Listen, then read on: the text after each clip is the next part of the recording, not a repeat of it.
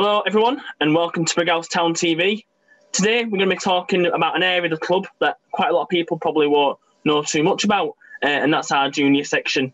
And to go through all the junior sections um, and to discuss that area of the football club, I'm delighted to be joined by head of youth football and Brighouse Town legend, as people know him by, and that's Mark Booth. Boothy, how are we doing? All right, thanks, Dave. How are you?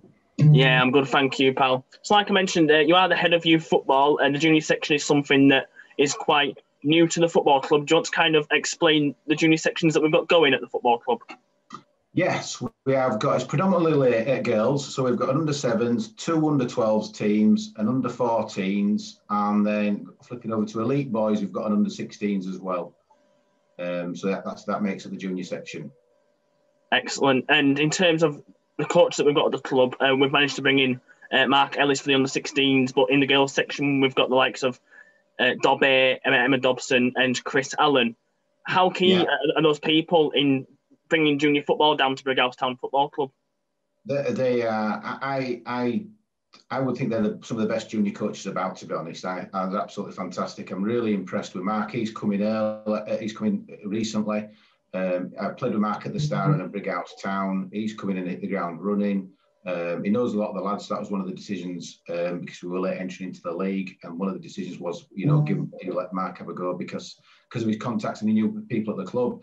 That was the right decision. Ultimately, you know, without a shadow of a doubt, we've got some great coaches: Dobby, um, Phil, Mark, who does the under sevens, has bags of enthusiasm. Um, so they're a really good, strong bunch of coaches that I'm, you know, really, really pleased with. Massive asset to the club. Yeah, excellent. How important is it that we managed to get those junior sections to fall under the Brighouse Town Football Club brand? Yeah, well, I think I think I don't think we've seen the full potential of it yet. I think going forward, we will do in the future seasons and years to come. I think they're coming board now under the umbrella of the main club. Um, you know, we've seen a little bit of it. I've seen enough potential to know that it's going to be a massive uh, asset to Brighouse Town. Parents getting involved uh, with the clubhouse when we renovate the clubhouse during the summer and the things we've done.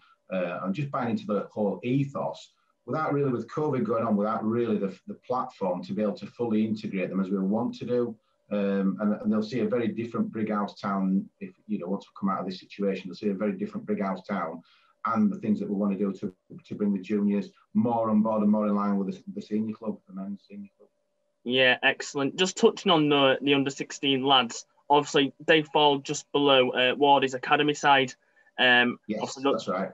They'll go into the under 17s next year and beyond. But how key is that relationship between yourselves uh, Mark Ellis and Wardy in terms of trying to integrate the lads to potentially play in that academy yeah, side? What, what, yeah, Wardy is slightly differently because Wardy's an MPL, that's a full time academy. Um, whereas some of these kids will go on to play for university or go on to education or go on to other other areas or apprenticeships. They may not. Some it wasn't done with a wasn't done with the intention of feeding into to uh, Simon's team. It was done with the intention of uh, building it up over the next three to four years and introducing another couple of teams into that structure and getting them slightly older um, and then if some do want to go into Simon's teams, that's absolutely fine, but it's not wasn't recruited or set up with the purpose of it going to in the MPL academy.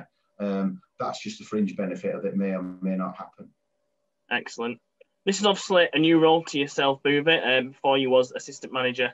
Um, how are you finding this new role yourself? Has it been a challenge for you, or have you, have you well, quite enjoyed it? Honest, it was a role I never really wanted. It's um, it came about a couple of years ago when um, I think I retired from the first team about four years ago now, three years maybe.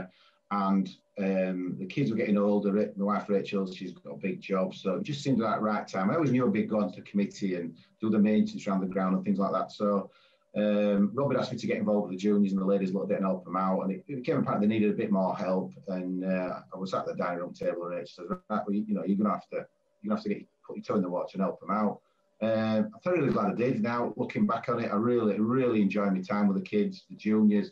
They're a fantastic bunch, the coaches, the parents, um, and I'm thoroughly enjoying the role. Uh, uh, and um, you know, we're surrounded by good people. James, Jason Costello, um, you know, Pat, the coach on top, really bought into it, and uh, it's just it's going to be a massive success story for Brighouse Town. that I have absolutely no doubt about.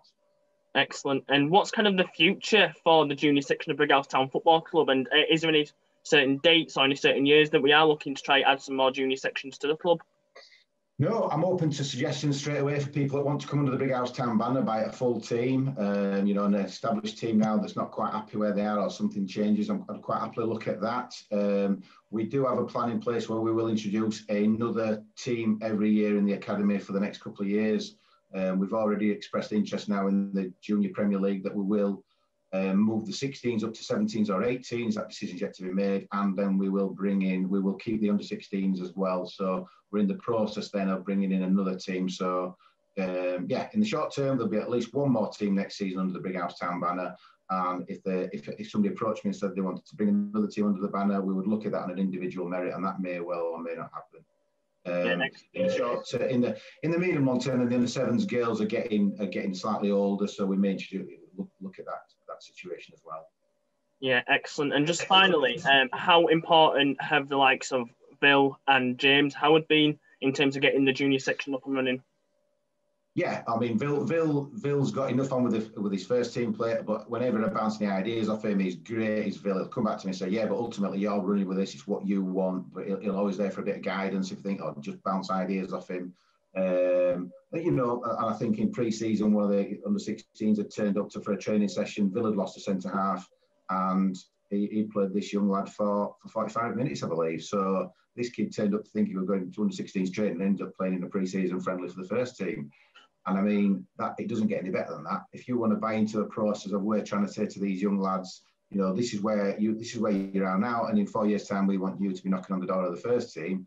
For a first team manager that's going to back a kid and throw him in albeit friendly, but throw him in for half an hour, 45 minutes, that, that you know, that takes, there's no more words to explain that. The fact that the manager will do that for you is just an absolutely superb position to be in. And these young lads will only benefit from that going forward.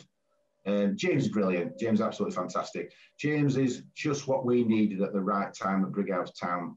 The committee tended has all been, we've all played together, we're all, you know, we're, we're all cut from the same cloth to a degree. Um, and we needed somebody that come in that actually said, well, you know, challenge the norm, break the mold.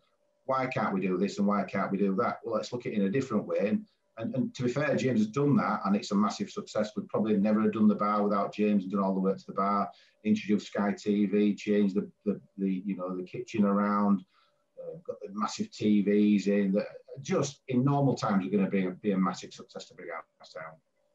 Nice one, Mark. Thanks for joining us, and hopefully we can get junior football back up and running in the near future. As soon as we can, Damo. Take care.